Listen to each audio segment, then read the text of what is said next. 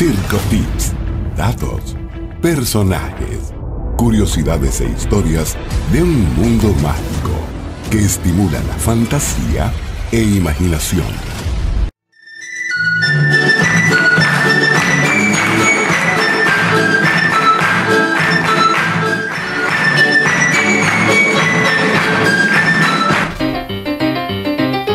El payaso es ese niño que llevamos por dentro, el cual no tiene reservas y disfruta jugando.